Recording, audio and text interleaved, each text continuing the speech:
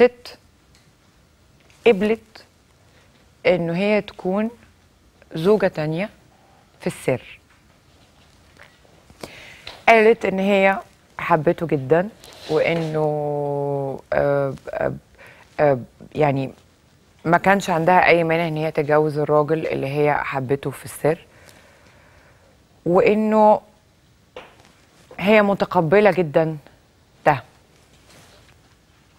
بعد شوية وقت لقت إنه آه، ابتدت تغير طبعا عندها طلبات عايزة تخلف منه. اشمعنى الأولانية؟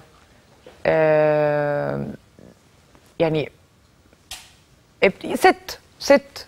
عايزة أخرج وعايزة أسافر وعايزة أعمل وعايزة كذا وعايزة كذا.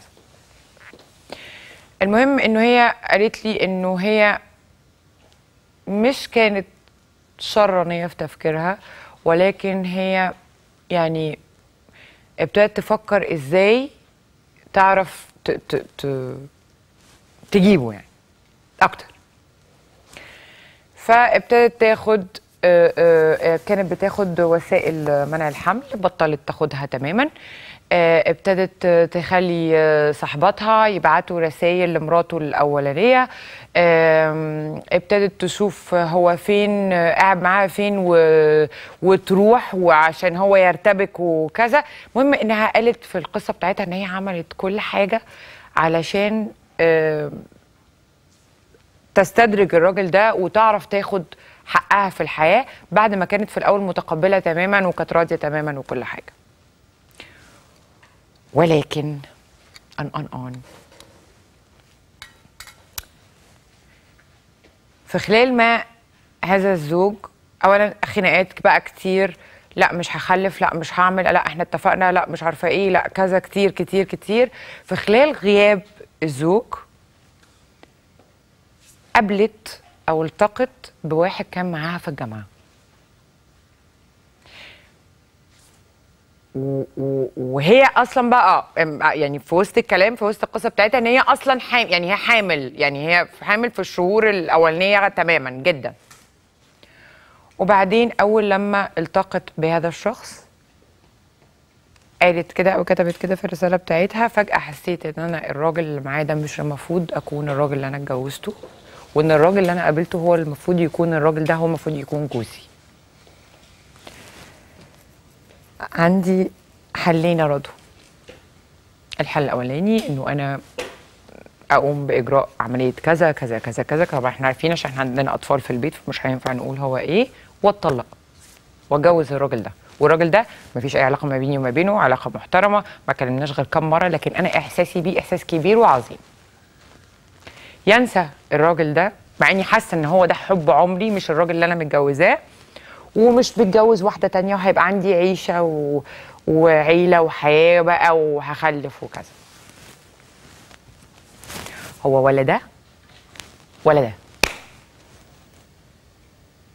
حاجة غريبة جدا. اولا خلينا متفقين إنه أنا هفضل طول عمري أطبطب عليكم إلا في الغلط. إلا في الغلط. وإلا أبقى أنا طالعة آه، بقول أي كلام عشان نعمل نسبة مشاهدة عالية وعلشان الفيديوهات تتشير على مش عارفة الفيسبوك واليوتيوب. ورضوى الشربيني قالت ورضوى الشربيني قالت دول نصيرة المراه أنا ناصرتك ووراكي ومعاكي في ظهرك في الحق في الصح. لكن في الغلط أنا مش هعرف أعمل كده. حتى لو أنتوا هتتضايقوا مني.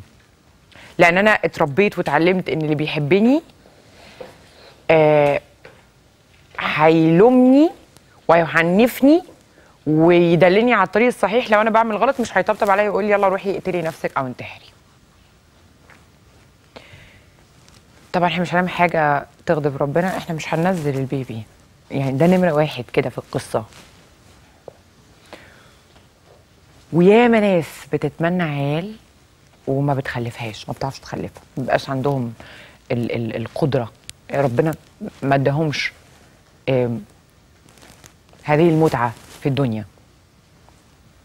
وامبارح في ستات عملت تعليق- تعليقات كتير قوي. أرامل كانوا بيتكلموا إحنا إزاي نتكلم أو إزاي نقول للست الأرملة إنها هتعدي المرحلة اللي هي فيها والست اللي ما بتخلفش. أنا بقرأ كل يوم كل كلمة أنتوا بتكتبوها. يمكن ما عنديش حق إن أنا أرد كتير لكن أنا بقرأ.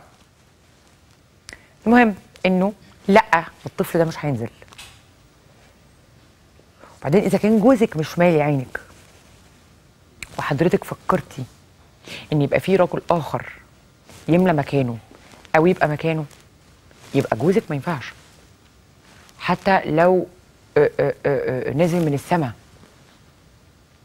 في حاجة وقعت. في حاجة وقعت. مش هينفع تتصلح تاني.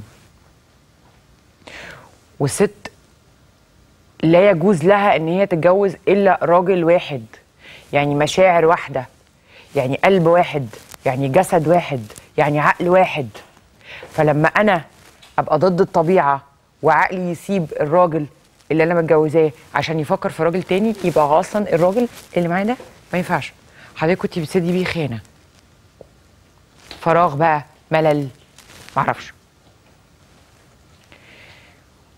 وصراحة جوزك ملوش ذنب لأن هو ما ضحكش عليكي. هو قال لك أنا راجل متجوز وتقبلي أو ترفضي وحضرتك قبلتي. ما هو ده اللي أنا بقوله. حضرتك قبلتي. فأنا مش هقدر ألوم عليه. في الحلقة دي مش هعرف ألوم عليه. طب التاني بقى. هل تعتقدي إنه لما راجل يبقى عارف إن انت متجوزة واحد وتطلقي منه علشانه هل تفتكري إن البروسيجرز أو الإجراءات هتروح لحد الجواز؟ طب راحت لحد الجواز. خلاص تمام. طن. لما راحت لحد الجواز هل تفتكري بقى إن هو هيثق فيكي في خلال الجواز؟ طب ما هو انت ممكن يكون الراجل ده انت شايفاه زي الراجل ده لأن هو كان فتى جوزك كان أكيد فتى أحلامك من كام سنة قبل ما تتجوزيه. الاختيار مهم. عشان كده كل كام حلقة بتقع مني وبعدين برجع تاني للاختيار. الاختيار مهم. بطيخة هي. بطيخة حمراء مقفولة. كلنا كلنا بطيخ. بس القشرة من بره شكلها عامل إزاي؟ وأنا بطبل اشوفها مرملة ولا مش مرملة؟ اشوفها في الشمس ولا في الظل؟ عند فكهاني ولا في الشارع؟ هو ده الاختيار.